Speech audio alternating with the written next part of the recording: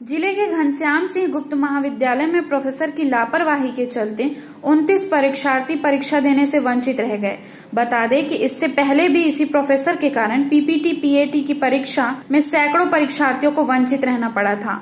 आज भी जब बीएड की परीक्षा देने ज़िले के दूर दराज से लोग कॉलेज पहुँचे थे, तभी कॉलेज के प्रोफेसर ने करीब 26 परीक्षार्थियों के ओरिजिनल आधार कार्ड को डुप्लीकेट बताकर परीक्षा हॉल से बाहर निकाल दिया। इसके चलते परीक्षार्थियों में प्रोफेसर के खिलाफ कॉलेज परिसर में जमकर नारेबाजी की गई। इसके साथ भी बहुत हंगामा हुआ। कॉलेज में हंगामा को देखकर नियंत्रण करने कॉलेज प्रशासन द्वारा पुलिस बल बुलाया गया। वहीं एसडीएम हरीश मंडावी, अपर कलेक्टर धितलहरे मौके पर पहुंचकर समझाइश के बाद हंगामा को शांत किया। क्लिपर 28 के लिए बालोद से जागेश्वर सिन्हा की रिपोर्ट। पीपीटी, पीएटी और आज पीएमटी का पेपर था। पीपीटी के पेपर में 60-70 बच्चे पेपर दिलाने से वंचित रहे एक प्रोफेसर के कारण। उसके बाद पीएटी के पेपर में वैसे ही 40-50 बच्चे एक प्रोफेसर के कारण वंचित रहे। हमने इसकी शिकायत पीएटी के पेपर में कलेक्टर के पास की थी, जिसकी जाँच भी आज चल रही है। उसके ऊपर जाँच कमेटी बैठी हुई है। उसके बाद इस कॉलेज के प्रोफेसर ने उसको परीक्षा प्रभारी बनाया।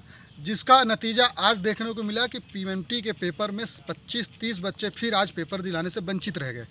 जिसका एक कारण है, वो सिर्फ़ गबेल, जो हमारे कॉलेज का प्रोफेसर है, और उसकी गलती के कारण बार बार बार बार लोगों को, छात्रों को एक परेशानी का सामना करना पड़ता है, जो चार साल, तीन साल इस पेपर का इंतज़ार करते हैं, उनके भविष्य के साथ इस प्रोफेसर ने खिलवाड़ की है। हमारे शिकायत के बाद भी उस प्रोफेसर को प्राचार्य ने परीक्षा प्रभारी बना के रखा है। पता नहीं चलता पता नहीं समझ नहीं आता कि इस कॉलेज का क्या दुर्दशा करेंगे कॉलेज के प्रोफेसर और ये कॉलेज के प्राचार्य मिलकर। ये आज जो इतने बच्चे अंदर नहीं जा पाए हैं अगर इनके साथ इंसाफ नहीं होता आगे आप लोग क्या कार्रवाई करेंगे? सबसे पहले तो ये मामला चालू हुआ पीपीटी के पेपर से।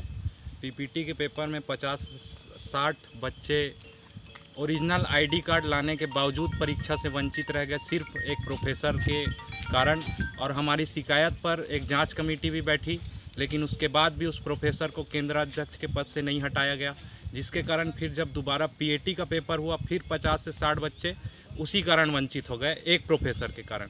उसके बाद आज बीएड का पेपर था, जिसमें फिर यह घटना दोहराई गई और कम से कम 26 लोगों ने अपना ओरिजिनल आईडी कार्ड लाया गया था, जिसे अपर कलेक्टर के द्वारा चेक भी किया गया और इनके द्वारा शिकायत हुई है और अपर कलेक्टर ने यह आश्वासन दिया है कि वह व्यापम परीक्षा केंद्र से बात करेंगे और उनके हित में कदम उठाएँगे। लेकिन उसके बाद भी छात्रों का ये कहना है कि वह हाई कोर्ट में जाकर इसके खिलाफ अपील करेंगे और हम उनके साथ हमेशा खड़े हैं। अगर वो हाई कोर्ट जाएँगे तो हम भी हमेशा उनके साथ रहेंगे। अगर इस पर कोई कार्रवाई नहीं होगी तो एनएसयूआई इसके लिए आगे आंदोलन करेगी। For more news updates, do subscribe, like, share and comment. Clipper 28